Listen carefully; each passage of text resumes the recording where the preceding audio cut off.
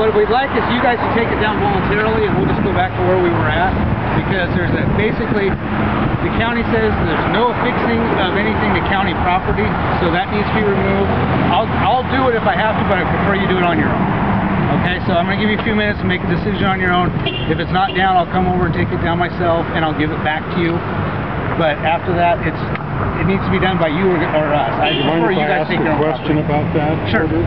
Um, how do you account for the fact that that has been over there on the flagpole base for 10 years, every Saturday from 12 to 1? What has changed? What I would do is I What would, has changed? let me finish.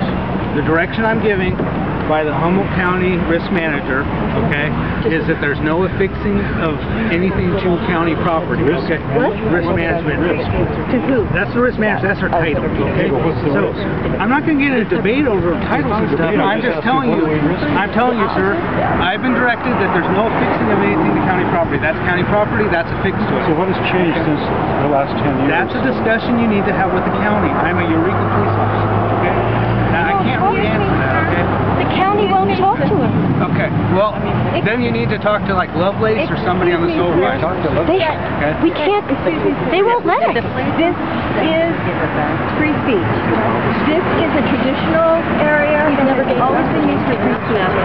The county cannot impose unreasonable restrictions on their rights. That, These that, are the municipal codes that don't apply. that flag can be held by you folks all day long. But It can't be a fix is affixed by to the property. We unreasonable- have fixed them Okay. for years. I'm just letting you know. I need to do what I'm being directed, okay? I need to tell you Um, that- actually, you're not required to follow an unlawful order.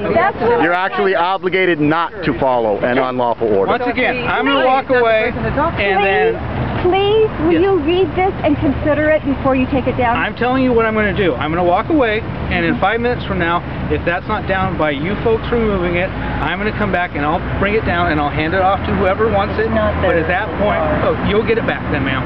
But it won't be on that fence in five minutes, okay? One way or the other. Thank you. That's an unlawful action, sir. It's unlawful.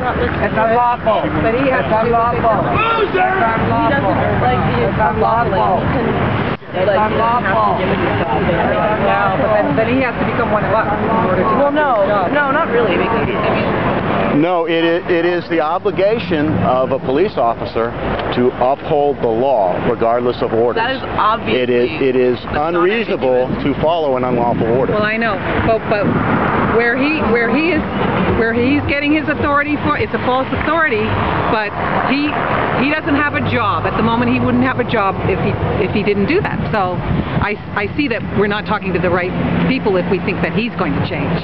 He said he would give it back to so Yeah. we've decided as if the women want the Yeah. women in black that we're not going to personally take Let it be, them. Right.